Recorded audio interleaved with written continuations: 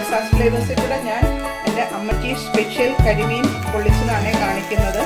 അപ്പോൾ എല്ലാവരും disaster flavours subscribe ചെയ്യാം ഫ്രണ്ട്സിന്റെ അടുത്തൊക്കെ പറയാം നോട്ടിഫിക്കേഷൻ ബെല്ല് ഒന്ന് പ്രസ് ചെയ്താൽ ഞാൻ ഇടുന്ന അനുസരിച്ച് നിങ്ങൾക്ക് റെസിപ്പീസ് കിട്ടിക്കൊണ്ടിരിക്കും. നല്ല നല്ല റെസിപ്പീസ് ഞാൻ നിങ്ങൾക്ക് വേണ്ടി പോസ്റ്റ് ചെയ്യുന്നുണ്ട്. എല്ലാവരും കാണുമെന്ന് വിചാരിക്കുന്നത് നല്ല അമ്മച്ചി സ്പെഷ്യൽ കരിമീൻ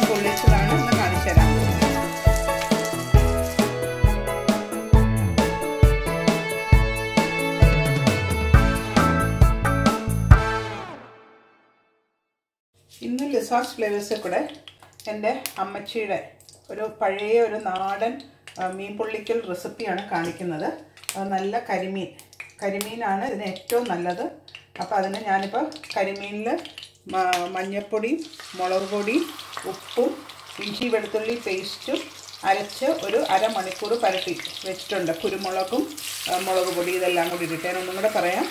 അതായത് ഇഞ്ചി വെളുത്തുള്ളി പേസ്റ്റ് മഞ്ഞൾപ്പൊടി മുളക് പൊടി കുരുമുളക് പൊടി ഉപ്പ് ഇതെല്ലാം കൂടെ പുരട്ടി പിന്നെ കുറച്ച് ചുവന്നുള്ളിയും കൂടെ ആ ഇഞ്ചി വെളുത്തുള്ളി പേസ്റ്റിന്റെ കൂടെ അരച്ചിട്ടുണ്ട്. ഇതെല്ലാം കൂടെ ഒന്ന് പരട്ടി ഒരു അരമണിക്കൂർ വെച്ചിട്ട് ഇതിനെ ഒന്ന് വേവിക്കേണ്ട രണ്ട് സൈഡും ബ്രൗൺ ആവുന്ന വരെ ഇതൊന്ന് വറുത്തെടുക്കാം. അത് രണ്ട് സൈഡും മൂത്ത് കഴിഞ്ഞ് മാറ്റിയിട്ട് ആ വെളിച്ചെണ്ണയെ തന്നെ വേണം നമുക്ക് ബാക്കി അരപ്പുകളൊക്കെ വഴറ്റി ഉണ്ടാക്കാൻ. അത് ഞാൻ സ്റ്റെപ്പ് ബൈ സ്റ്റെപ്പായിട്ട് നിങ്ങൾക്ക് പറഞ്ഞു തരാം അപ്പോൾ അതിന്റെ ഒരു സൈഡ് മൂത്തിട്ടുണ്ടാവും. ഞാനൊന്ന് മതച്ചെടുത്ത് ഒന്ന് ലൈറ്റ് ബ്രൗൺ ആയി കിട്ടിയത് ഇത് ഫുൾ വേവ് ഒന്നും വേണ്ട. നമ്മൾ പിന്നെ വാഴയിലയിൽ ഇത് ശരിക്ക് പൊള്ളിക്കും. അപ്പം അധികം ഇപ്പം വെന്തില്ലെങ്കിലും കുഴപ്പമൊന്നുമില്ല. ജസ്റ്റ് രണ്ട് സൈഡും ഒന്ന് ബ്രൗൺ ആയി കിട്ടിയാൽ മാത്രം മതി. പിന്നെ ഇതിന് വേണ്ട ബാക്കിയുള്ള ഇൻഗ്രീഡിയൻസ് എന്താണെന്ന് വെച്ചാൽ ഞാൻ ഇഞ്ചി വെളുത്തുള്ളി പേസ്റ്റ് അതായത് ഒരു ചെറിയ കഷ്ണം ഇഞ്ചി എടുത്തിട്ടുണ്ട്. പിന്നെ ഒരു പത്തല്ലി വെളുത്തുള്ളി ഒരു അഞ്ച് ചുവന്നുള്ളി ഇതെല്ലാം കൂടെ അരച്ചൊരു പേസ്റ്റാക്കി വെച്ചിട്ടുണ്ട്. ആ പേസ്റ്റിൽ കുറച്ച് എടുത്തിട്ടാണ് നമ്മൾ മുളക് പൊടി മഞ്ഞൾപ്പൊടി കുരുമുളക് പൊടി ഉപ്പും പരട്ടി ഈ കരിമീനിൽ വെച്ചത്. ബാക്കി പേസ്റ്റ് നമുക്ക് സവാള വഴറ്റിയിട്ട് അതിനകത്ത് ആഡ് ചെയ്ത് അന്നേരം ഞാൻ കാണിച്ചു തരാം. ഇങ്ങനെ എല്ലാ നാല് ഫുൾ കരിമീനാണ് ഞാനിപ്പോൾ എടുത്തേക്കുന്നത്. നാല് കരിമീനും നമുക്കിതുപോലെ വറുത്ത് മാറ്റാം. അത് കഴിഞ്ഞിട്ടുള്ള സ്റ്റെപ്പ് ഞാൻ കാണിച്ചു തരാം. അടുത്ത സെറ്റ് കരിമീനും ഇട്ടിട്ടുണ്ടായിരുന്നു. അതും ഒന്ന് മൂത്തിട്ടുണ്ട്. ഞാനതൊന്ന് പ്ലേറ്റിലോട്ട് മാറ്റുക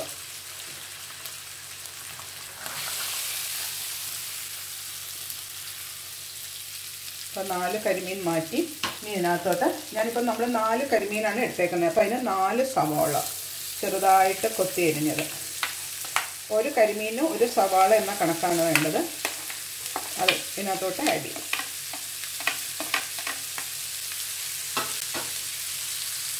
ഇനി ഇത് ഈ വെളിച്ചെണ്ണയിൽ തന്നെ കിടന്ന് നല്ല ബ്രൗൺ ആയി വരണം.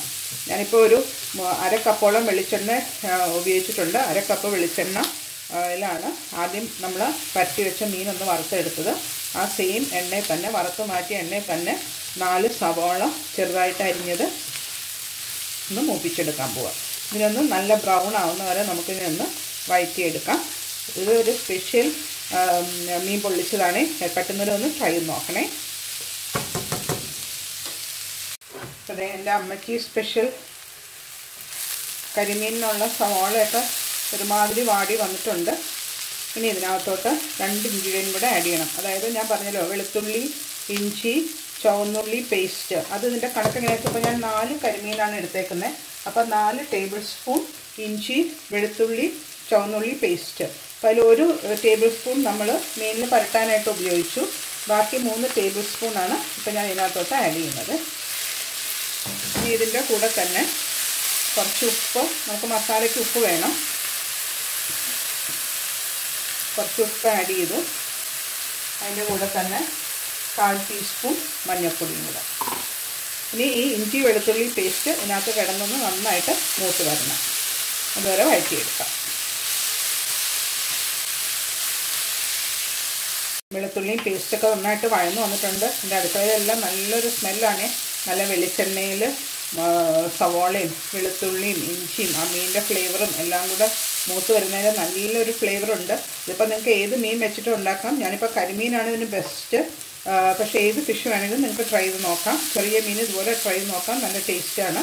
ഇനിയിപ്പം ഇതൊന്ന് മൂത്ത് വന്നിട്ടുണ്ട്. ഇനി ഇതിനകത്തോട്ട് നാല് ടൊമാറ്റോ.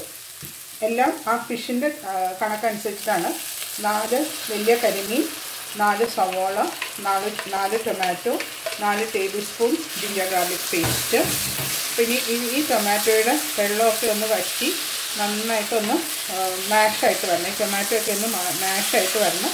അതുവരെ വീണ്ടും നമുക്കൊന്ന് വഴറ്റിയെടുക്കാം.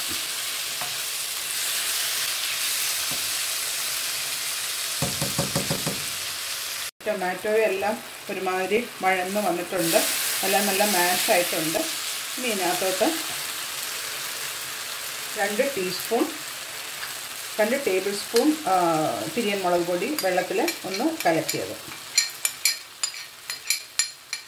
അതൊന്ന് കരിഞ്ഞു പോകാതിരിക്കാൻ വേണ്ടിയിട്ടാണ് നമ്മൾ വെള്ളത്തിൽ കലക്കി ഇതിനകത്തോട്ട് ആഡ് ചെയ്യുന്നത്.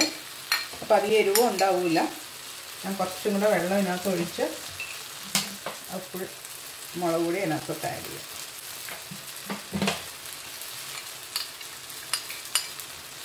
അപ്പം ഇനി ഇതും ഈ മുളക് പൊടിയും ഒന്ന് വഴന്ന് കിട്ടണം.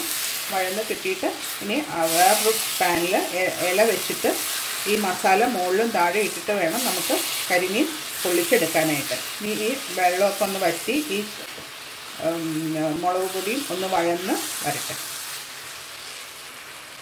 അപ്പോൾ ഇതിനകത്തൊരു കുറച്ച് വെള്ളം കണ്ടന്റ് ഉണ്ട് അതൊന്ന് വറ്റണം. ഇപ്പം നിങ്ങൾക്ക് കാണാം അതിന്റെ ആ ടൊമാറ്റോയുടെ വെള്ളമെല്ലാം വറ്റി നമ്മൾ മുളക് പൊടി ചാലിച്ചത് ചേർത്തതിന്റെ വെള്ളമൊക്കെ വറ്റി നന്നായിട്ട് വന്നിട്ടുണ്ട്. ഇനി എന്താ ചെയ്യേണ്ടതെന്ന് വെച്ചാൽ ഇത് അടുപ്പത്തുനിന്നൊന്ന് ഈ സൈഡിലോട്ട് വെക്കുക.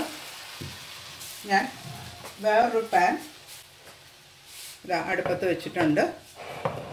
അതിനകത്ത് വാഴയില ഇട്ടിട്ടുണ്ട്. നമുക്ക് ഈ അരപ്പ് അതിന്റെ അടിഭാഗത്തെല്ലാം പകുതി അരപ്പ് അടിഭാഗത്തൊന്ന് നിരത്താം.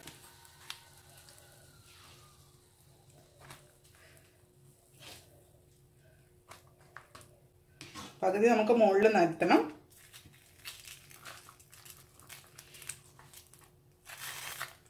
എന്നിട്ടിനി തീ ഒന്ന് കുറച്ചിടണം. ഇപ്പോൾ ഈ പാൻ ഒന്ന് ചൂടാവാനുള്ള ഒന്ന് ചൂടായി കിട്ടി കഴിയുമ്പോഴത്തേക്കും ഈ തീ ഒന്ന് കുറച്ചിടണം.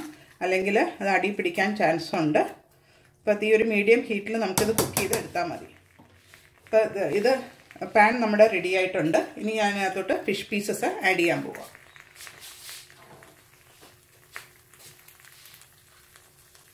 നമ്മൾ നേരത്തെ വറുത്ത് വെച്ച കരിമീൻ.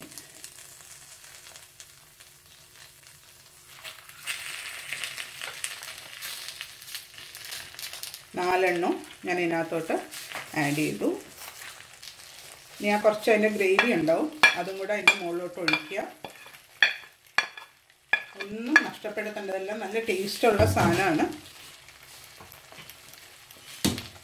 അങ്ങനെ ഒന്നും കൂടെ ഒന്ന് സ്ഥലം ഉണ്ടാക്കി കൊടുക്കണം.